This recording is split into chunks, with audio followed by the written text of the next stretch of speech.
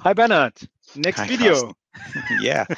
So we left off last time with issues uh, in Windows Admin Center. Could you fix it? Is the question. Yes, I could fix it, of course. And it was it was not too long, so we could uh, let the video run. But anyway, we stopped it.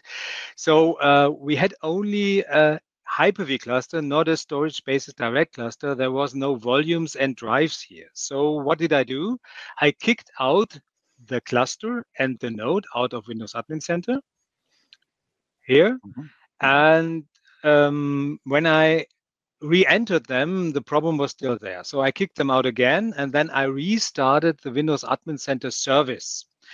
And that helped. When I then re-entered the nodes, everything went fine. So uh, it's a quick fix, but you never know if you have to reboot the machine or whatever. So now we see our volumes and our mm-hmm. drives. Mm-hmm. And when we look at drives, we see uh, we don't have too much storage here. It's about eight terabytes or 7.8 terabytes should be enough for our demo environment to provide some some mm-hmm. space for our workload. And now we go to volumes and we have a two node S2D cluster. So we will provide at least two volumes. I go here mm-hmm. and can click on create. We already see the cluster performance history volume and now we create two new ones. The name doesn't really matter because we use shares and the shares have uh, mm-hmm. other names. We come to shares later, but I like to give some useful names and we can we can talk about if CSV1 is useful or not, but uh, I do it anyway. And now we have to decide for the resiliency. So in a two-node cluster, we have three possible resiliencies, a pure two-way mirror, a nested two-way mirror, that is, in essence, it's four copies, or we could go with a nested mirror accelerated parity. Um, Bernhard, what, which one should we take? Well, for me, two-way mirror is good. Yeah, and it's all virtual hard disks. These virtual hard disks again have three copies uh, mm-hmm. because they are placed on an Azure Stack HCI volume with uh, three-way mirror. So I there should not go too much wrong. So we do that. And um, you told me that in Azure um, mm-hmm. we are we are doing this for the workload of a user profile disk, and in Azure it has 30 gigabyte. You told me by default. So yeah. I choose 300 gigabytes, and we could place 10 let's say 10 here. Huh? And we if can the AVD, AVD users would go to the max, uh, that would be the correct calculation, right? Yeah. yeah. And we can at any time we can extend this volume if we have still uh, space. So we start with 300 gigabytes, and I choose two volumes. Um, the reason for that is if you only have one volume in your two node cluster, um, all the user profile is so all your virtual machines will talk to the one node that is owner of the CSV. So the mm-hmm. other node is just there for standby purposes. And we have two nodes. We want to share the load. So we have to create at least one volume per node. So two nodes in our cluster, so two volumes. Yeah, to mm-hmm. uh, to spread the load a bit over the nodes. So we do the CSV2, two-way mirror, again, 300 gigabyte, go to create. And it will take a bit, and we can already change to the failover cluster in one of the machines. Hmm. Or I can also add a failover cluster here yeah, this is our failover cluster for our Azure Stack HCI host, the hardware, but mm-hmm. we can also add connect to cluster our S2D one cluster was it right? Mm-hmm. Not with two R's. And then we have a little bit of a bigger window here. So instead of doing it in a virtual machine, we are doing it here. And you see now, if you go to storage, to disks, we have now our three disks. And here you see the owner. Um, the customer cares about it that at least one volume is pushed, the ownership pushed to another node. Yeah. Okay. So, okay, we are done here. We have our uh, S2D cluster. It has Mhm. volumes. So now we have to install our high available file server. Yeah, this is not an Hyper-V cluster, our two-node S2D cluster in virtual machines. It's a high available file server. So we go to roles here and we have configure role. And of course, you can do that with PowerShell, but uh, I like the GUI way, so we do it here. So a cluster can have different workloads. It's in Microsoft, the cluster is not only for Hyper-V virtual machines, we can also have file server clusters, we can have an iSCSI target server. Uh, so there are so many things that a cluster can host. Most of mm-hmm. the time it's virtual machines, but sometimes it's also a file server. So I, I mm-hmm. click at file server here, Yep. go to next, and the cluster checks if the file server role is installed installed on the nodes, so it's there. And then we mm-hmm. have two kinds of high available file servers. A file server for general use. So this is a this in, is in essence a normal file server that has any options you can do with a uh, with a standalone file server. Like uh, you can do quotas, uh, you can give the users the possibility to restore deleted files, and so on. Mhm. And we have a scale out file server. And the scale out file server is purpose built for special applications. And the special applications are Hyper-V, so Hyper-V VMs stored on these uh, on these shares or SQL databases, or I think also Internet Information Server is capable of this. Mm. And of course, user profile disks. User profile disks are like like VMs. They have a VHDX file, and this server, this kind of file server, is really built for Hyper-V workloads. So Mhm. we choose this one, but be aw- be aware we have now there are some features missing. We can't do quotas, we Mhm. can't do DFS replication, and so on. This is only uh, for um, So it's not meant, yeah. So it's not meant for you know for uh, for a f- generic file server which hosts documents you know uh, that are to be shared among in uh, in an enterprise, right? So that would be the uh, the generic file server. Uh, Yeah. The technical difference though is you know we have disks attached to each individual node and replicating the disk traffic over the network, whereas the generic file server you would use for sharing documents within your enterprise is requiring a shared storage. That means uh, the disks need to be seen by you know both disks. So you need to have a shared disk, which you could do with VHD sets, but uh, that's a little bit of a different topic. I don't want to yeah, and V- drill VHD this. sets. yeah, VHD sets are great, but they have some they have some um, yeah, Challenges when it comes to Chal- backup. challenges to backup. Yeah, and Yeah, another okay. thing, um, I have customers who place the two VMs of these uh, storage spaces direct cluster in different clusters. Mm, So if what the base cluster has a problem, in our case, we have it on the same cluster on our uh, Azure Stack HCI four node cluster. But you could also, because it's VMs, all the Mm. storage is local to the VM. You could put one of those VM in one cluster and another VM in another cluster. With Right. the um, general purpose high available file server, they have to be in the same cluster. It's another. So the the VHD set is can only be in the same cluster. Mhm. Okay. Um, now you see here, he- it asks me for a name. It Mhm. doesn't ask me for an IP address because we will generate a computer account in the AD. Mhm. Yeah. Um, so uh, it will generate a computer account and we will have an error here on uh, we know that this error will be there but i wanted to show it but we don't specify ip addresses these scale out file server computer uh, account inherits the ip addresses of the underlying s2d nodes yeah we will see that um, Mhm. later so i create it it gives me some information and then we will see here we have our ourselves and it will fail. uh, and that Mhm. is expected. Uh, I wanted Okay. to show you that it fails. Our, our viewers, I know you know that, Bernhard. We have done this multiple times, but this is important. So I, I go to our domain controller Let me choose a domain controller here. Mhm. And the reason why it fails is, oh, I have to log in. Give me a moment. Maybe you know the reason, Bernhard, and can enlighten our.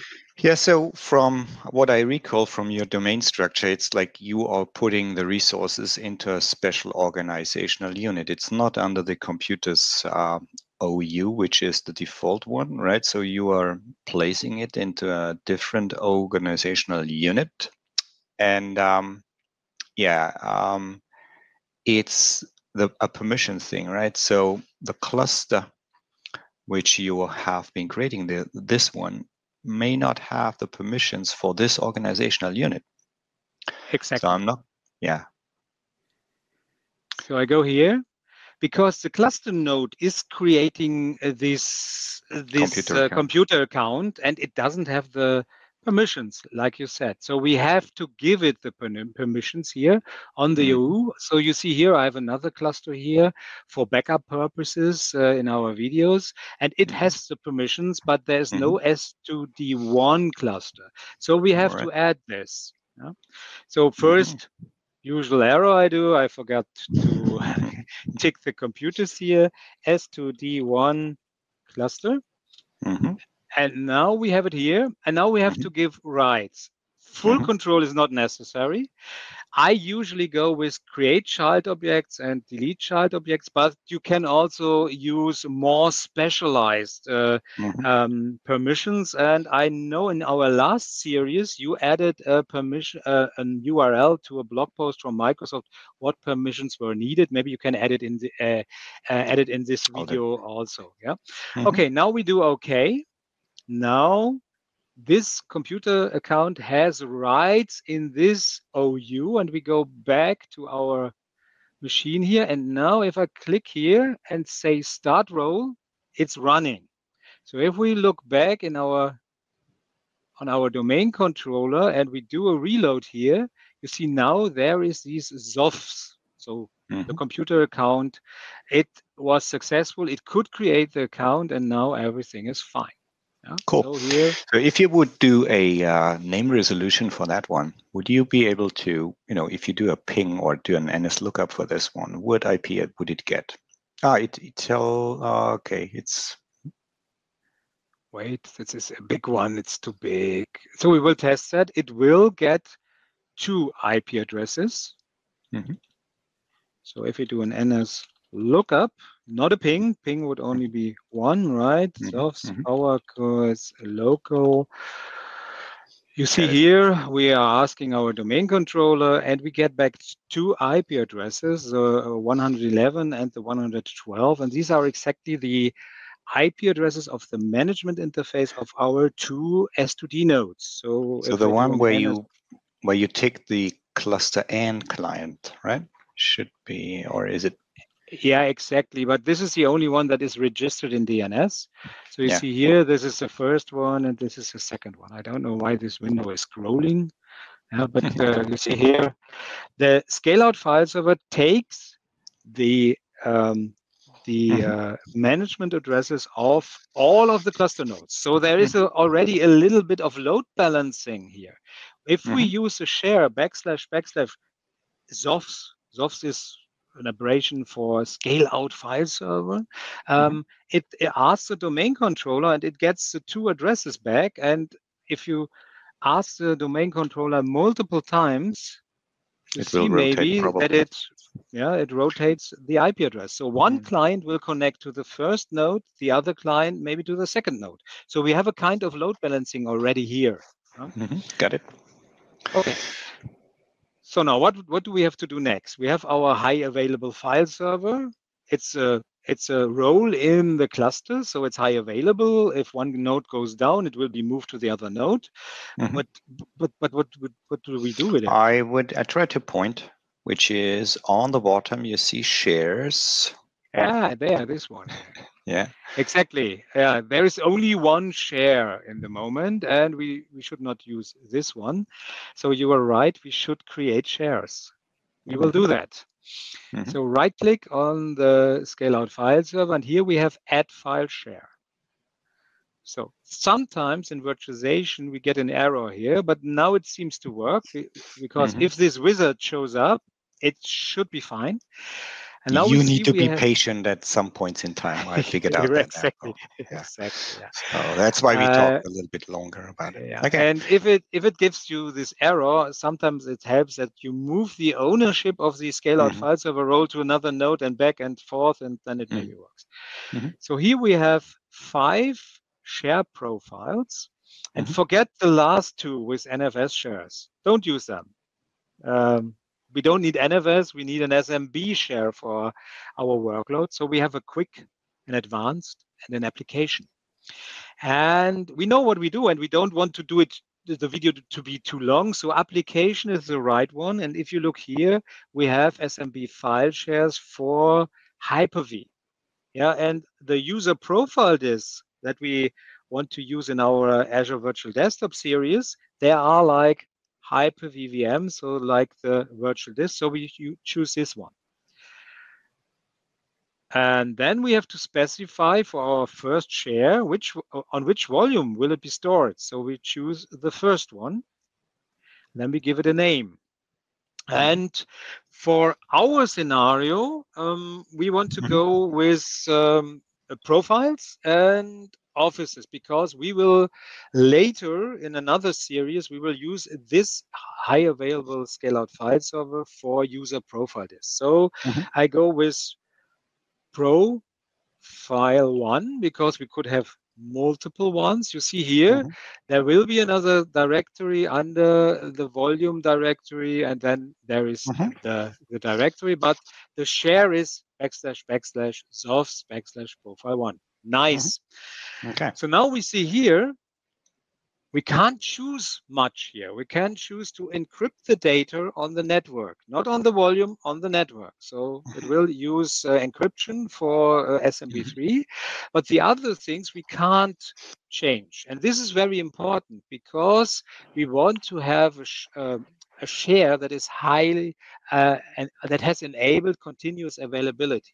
So Mhm. if one node fails, the other node can take over and uh, just also take the handles, the open files, the logs, and the the the user profile disks can still be used on the other node. So there is like a failover of the Mhm. share.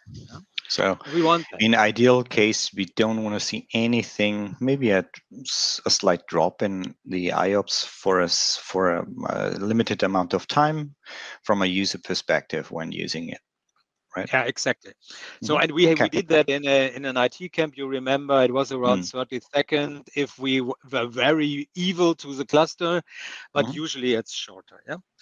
Okay, so now we have the permissions, and they are inherited from the Mhm. drive, and they are not good ones. So first we disable the inheritance Mhm. and say take the permissions over. Mhm. And now we get rid of, for example, everyone. Everyone permissions is not really a good one.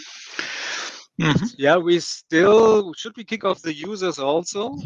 Yeah, kick it off. I mean, we are Yeah. using that for different purpose, uh, and we will customize the permissions for the specific use case, which is uh, FSLogix for AVD, and uh, we will do the permissions required in that video, right? So, Exactly. So we kick off good. every parti- yeah, we create the volume, Mhm. close it. We will get a share here, and then I create another one, and um, then we are finished, and uh, we will test if the shares are Okay. available. Yeah, be, Yeah, so- before you before you create the other one, um, I think that that's something that we could do. You know, uh, behind the curtains, I would love to see the share access, and maybe you could, you know, move the role from uh, the owner of that share and see if you if there's still, you know, access to the file. We can do that, of course. So, So- it was SOFs, Mhm. and now we already see it offers Profile. the profile one. Okay. nothing in there. So we should create something here. Maybe we copy something or we create a folder. Mhm. Let's say test, and in the folder we create a text document, text, Mhm. also test, and we say this is our test. Okay. Yeah. love it. Yeah, you love it. you could maybe laugh about it. That would be also Uh, no, okay, but no. it's just out of my head. But we do. It wouldn't else. look different from from my perspective. Okay. So so, so, we will. So we will copy Oh. our sys prepped volume in here, and then we can Mm. do the uh, the failover. I didn't do it, so this is this is uh, magic. So I copy now data from Vax. It's our uh, it's a management machine into the share. And Mhm. now I do what you wanted. I reassign the ownership. What So what I is will- it now? Let let's pause the node. Let's pause the node simulating a maintenance window, for example.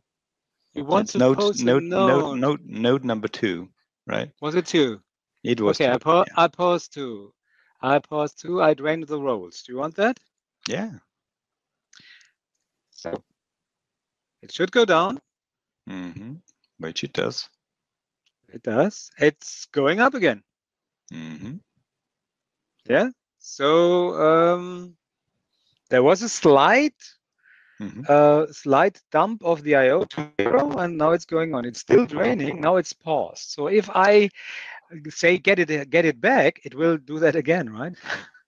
Yeah, let's see. But uh, before you do that, I mean, let's see if the ownership really changed. So, um, I mean, of course. ho- uh, Here's Yeah. our SOFS. It's on one now, and we see our profile here. So it. uh, okay, yeah, I like it. Yeah. And also important, where's the owner of the disk? The disk is this one. It's also one. Mhm, Okay. So if I unpause the node, because you know we have now our disk in uh, in storage maintenance mode in Azure Stack HCI, at least we would have that. And I Mhm. think it's the same in storage spaces direct Windows Server 20. I, I want to resume it. Fail roles back. Okay. Mhm. So we do that. Have a look here. hmm It doesn't do it. So let's see if the volume, Yeah. If the volume is no, the volume changed to two, and this was really fast. There was really maybe a slight dump here, but mhm. not really noticeable. Huh? Yeah, um, might be that the um, that resuming is faster than draining, sort of. But yeah, anyways, that's cool. Um, so, will is that everything that you wanted to show in this video, or do you have something Mm. left? No, I'm I'm fine. We have our scale out file server. We can see we can access it in the moment only as an administrator account, but fortunately I'm administrator on this machine. Mhm. Um, we will uh, offline. We will create another share. It's called Office One, and then we can use our high available scale out file server um, uh, in the next video. Or we could also turn off one node if you want to.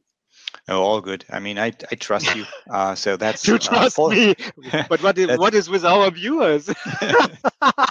you trust me, love it.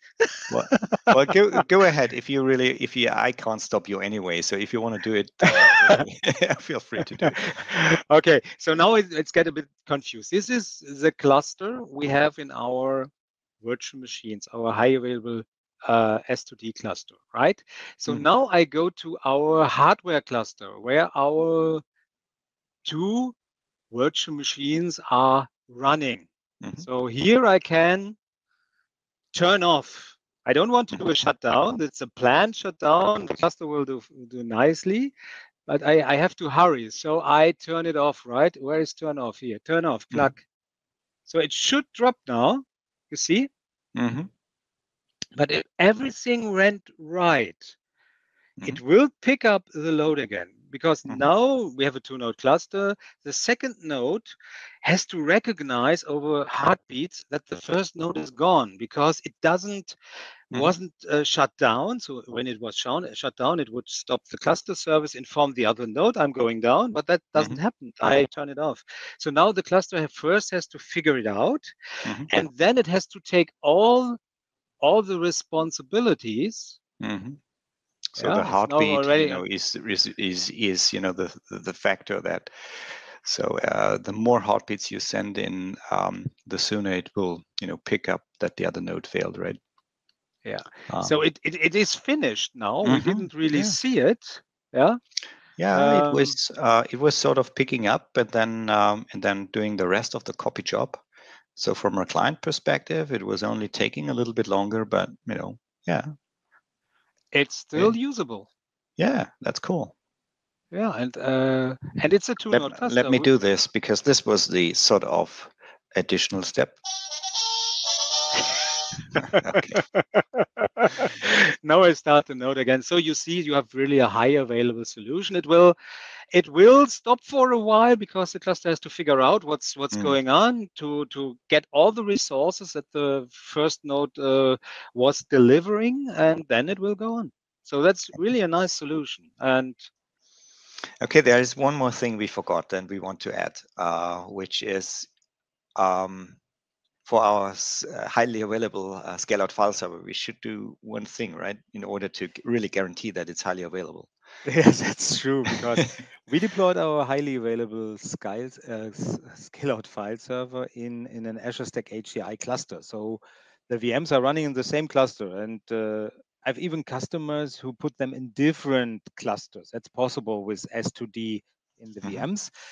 But uh, imagine we have both VMs running on the same node. No, we should go on the roles here. So in the moment, exactly mm. what we are talking about, both both uh, nodes of the highly available scale out files are running on node 2 of our hardware cluster. So if mm. node 2 has a failure, uh, both are gone. Mm. So there is a possibility in a Microsoft cluster to uh, tell the cluster, please keep these two resources apart or together. And we want apart, of course. Mm-hmm. Yeah, so um, we can't do that here in the old failover cluster interface. You can do it with PowerShell, but there is a nicer interface. It's uh, uh, Windows Admin Center. So we go to our hardware cluster, our mm-hmm. Azure Stack HCI cluster. And if you have seen the Azure Stack HCI installation series we did uh, before, in settings, we have something called affinity rules. And affinity is put something together. Anti-affinity is no, put it apart. Mm-hmm. And we want, of course, an anti-affinity rule so that these two resources are not in, on the same node. We can specify a name here, for example, SOFS Mm-hmm. Anti affinity, it's just for us. Anti, it's something anti affinity. Is it right here? No, affinity double is F. double F. Double F, right? And anti. So not together, different servers. And mm-hmm. then we mm-hmm. can specify the two uh, VMs. In the moment, we only have these two VMs, so it's right. pre-deployed here. But if you have 10, 50 VMs here, you have to choose those. Mm-hmm. Now we create the rule. Okay. And the cluster will try to uh, put them apart. If you have a two node uh, hardware cluster, um, it's not always possible because if you shut down one node for maintenance or mm-hmm. patching, mm-hmm. it has to put them on the same node. But here with four nodes, it should be not a problem. And you see, it already did it. So we implemented the rule and it moved one of the two mm-hmm. virtual machines to another node. So, okay, cool. Uh, that's important, and this will conclude uh, the installation of a high available scale out file server into uh, virtual machines using storage spaces direct.